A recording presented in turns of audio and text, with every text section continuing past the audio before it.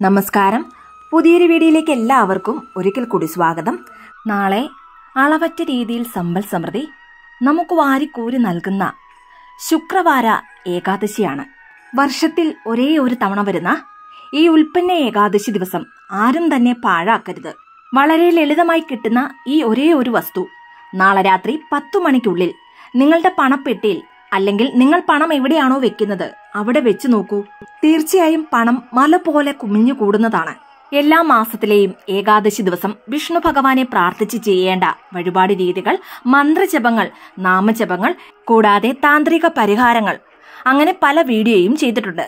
എന്നാൽ ഇന്ന് പറയാൻ പോകുന്നത് അതിശക്തിയാർന്ന ഒരു രഹസ്യ വഴിപാട് രീതിയാണ്. നിങ്ങളുടെ വീട്ടിലിരുന്നോ അതല്ലെങ്കിൽ ക്ഷേത്രത്തിലിരുന്നോ ഈ ഒരു വഴിപാട് ചെയ്യാവുന്നതാണ്. നിങ്ങളുടെ അടുത്ത് വിഷ്ണു ക്ഷേത്രമോ അല്ലെങ്കിൽ ശ്രീകൃഷ്ണ ക്ഷേത്രമോ ഉണ്ടെങ്കിൽ അവിടെ ഇരുന്നും ഈ ഒരു വഴിപാട് ചെയ്യാവുന്നതാണ്. ഉൽപ്പന്ന ഏകാദശി ദിവസം ചെയ്യേണ്ട.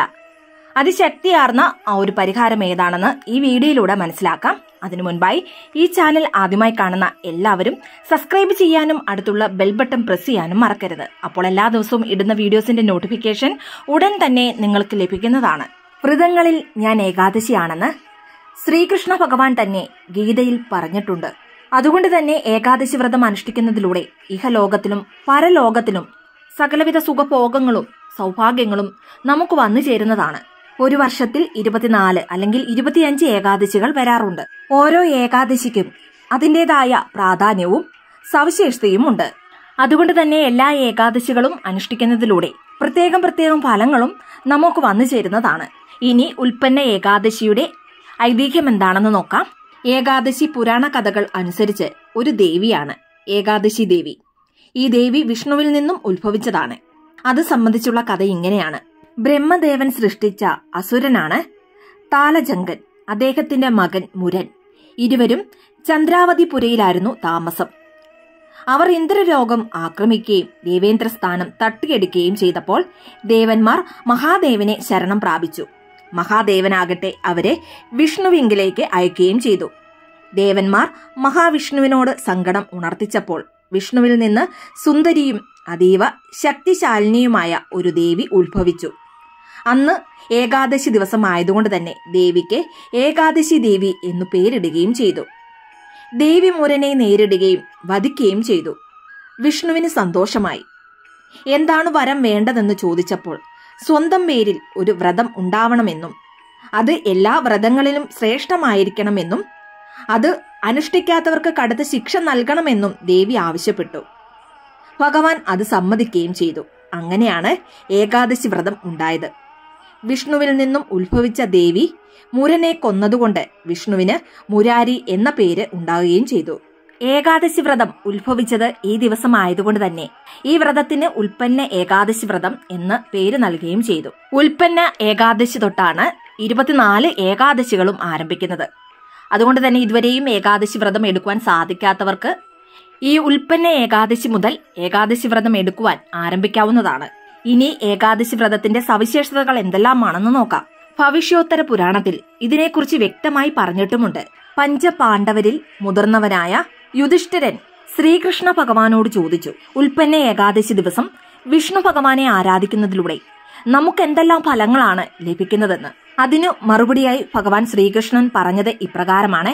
സംക്രാന്തി ദിവസം നമ്മൾ ദാനധർമ്മങ്ങൾ ചെയ്യുന്നതിലൂടെ എന്തെല്ലാം ഫലങ്ങളാണോ നമുക്ക് ലഭിക്കുന്നത്. ഈ ഏകാദശി വ്രതം അനുഷ്ഠിക്കുന്നതിലൂടെ ആ ഫലങ്ങൾ നമുക്ക് വന്നു ചേരുന്നതാണ്. മാത്രമല്ല പുണ്യ നദികളിൽ സ്നാനം ചെയ്യുമ്പോൾ നമുക്ക് എന്തെല്ലാം ഫലങ്ങൾ ലഭിക്കുന്നുവോ? അത്രയും ഫലങ്ങളും ഈ വ്രതം അനുഷ്ഠിക്കുന്നതിലൂടെ നമുക്ക് വന്നു ചേരുന്നതാണ്. മൂന്നാമതായി പശുവിനെ ദാനം ചെയ്യുമ്പോൾ നമുക്ക് എന്തെല്ലാം ഫലങ്ങൾ ലഭിക്കുന്നുവോ? അത്രയും ഫലങ്ങളും ഈ വ്രതം അനുഷ്ഠിക്കുന്നതിലൂടെ നമുക്ക് വന്നു ചേരുന്നതാണ്. ഇനി ഏകാദശി വ്രതം മുറയായ രീതിയിൽ എടുക്കുവാൻ സാധിച്ചില്ലെങ്കിലും സാരമില്ല. ഭഗവാനെ മാത്രം മനസ്സിൽ സങ്കല്പിച്ച് അന്നേ ദിവസം ഭഗവാന്റെ നാമങ്ങൾ ചൊല്ലുകയും കൂടാതെ ഭാഗവതം ഭഗവത്ഗീത തുടങ്ങിയ പുണ്യഗ്രന്ഥങ്ങൾ വായിക്കുകയോ അല്ലെങ്കിൽ ശ്രവിക്കുകയോ ചെയ്യാവുന്നതാണ്. ഇതിലെല്ലാം ഉപരി ഭഗവാന്റെ കഥകൾ കേട്ടാലും അത്യധികം പുണ്യദായകമാണ്. ഇങ്ങനെ ചെയ്യുന്നതിലൂടെ ഭഗവാന്റെ പരിപൂർണമായ അനുഗ്രഹം നിങ്ങൾക്കും ലഭിക്കുന്നതാണ്. ഇനി ആദ്യം തന്നെ ഏകാദശി തിഥി ആരംഭിക്കുന്നത് എപ്പോഴാണെന്ന് നോക്കാം. രണ്ടായിരത്തി ഇരുപത്തി മൂന്ന് ഡിസംബർ എട്ടാം തീയതി. വെള്ളിയാഴ്ച പുലർച്ചെ നാല് ഏഴ് മുതൽ ഏകാദശി തിഥി ആരംഭിച്ച് ഡിസംബർ ഒൻപതാം തീയതി. വെളുപ്പിനെ അഞ്ച് ഇരുപത്തിനാലിനാണ് ഏകാദശി തിഥി അവസാനിക്കുന്നത്. ഡിസംബർ എട്ടാം തീയതി വെള്ളിയാഴ്ച ദിവസം മുഴുവനായും ഏകാദശി തിഥി വരുന്നുണ്ട്.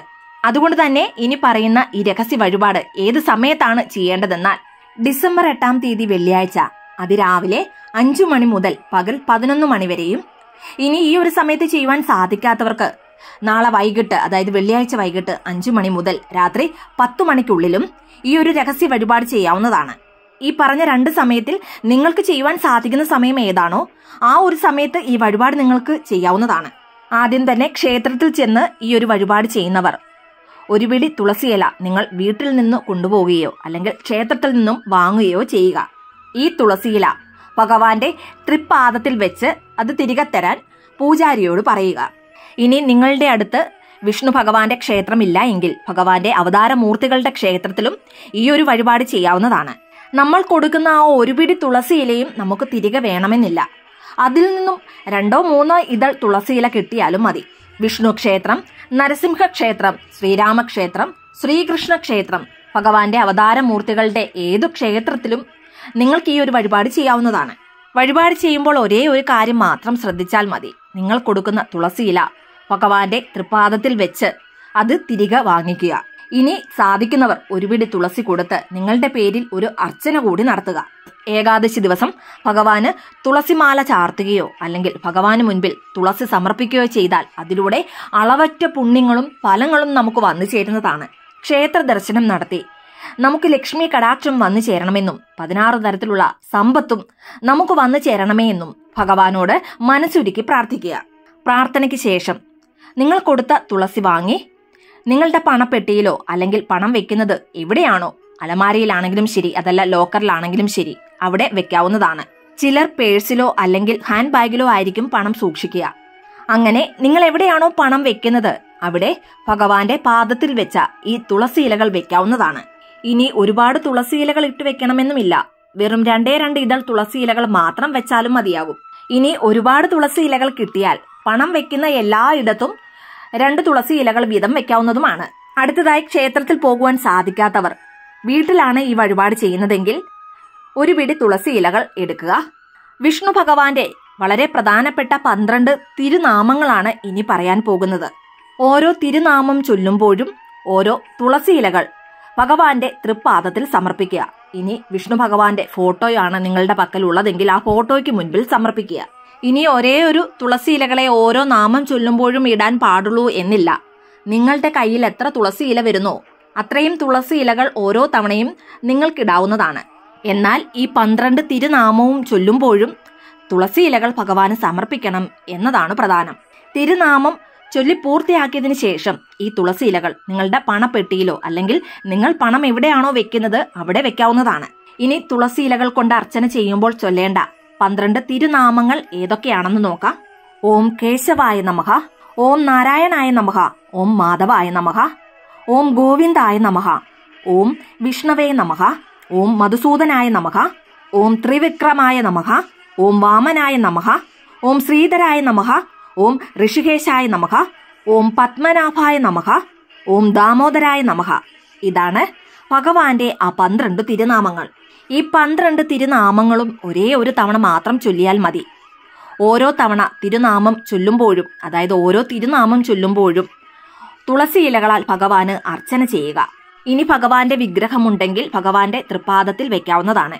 നാമം ചൊല്ലിയതിന് ശേഷം ഈ തുളസി ഇലകൾ നിങ്ങളുടെ പണപ്പെട്ടിയിൽ വയ്ക്കാവുന്നതാണ് ഇത്രയേ ഉള്ളൂ. നാൽപ്പത്തിയെട്ട് ദിവസം നിങ്ങളുടെ പണപ്പെട്ടിയിൽ ഈ തുളസി ഇലകൾ അങ്ങനെ തന്നെ ഇരിക്കട്ടെ. അതിനുശേഷം അതായത് നാൽപ്പത്തിയെട്ട് ദിവസത്തിന് ശേഷം ഈ തുളസി ഇലകൾ എടുത്ത് ആരും ചവിട്ടാത്ത സ്ഥലത്ത് ഇടാവുന്നതാണ്.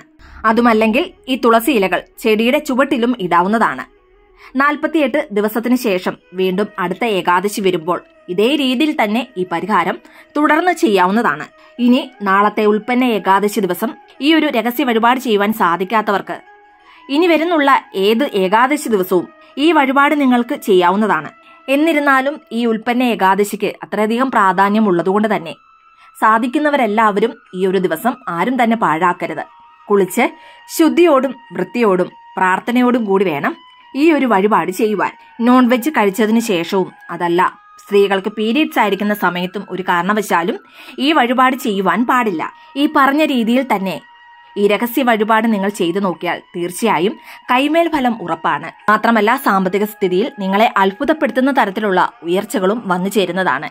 എല്ലാവർക്കും വിഷ്ണു ഭഗവാന്റെ അനുഗ്രഹം ഉണ്ടാകട്ടെ എന്ന് പ്രാർത്ഥിക്കുന്നു.